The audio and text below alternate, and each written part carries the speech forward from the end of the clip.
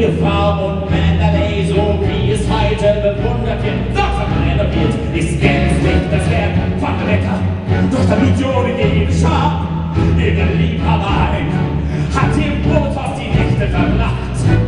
Ich wandte sie, doch ihr Sprich von Sport.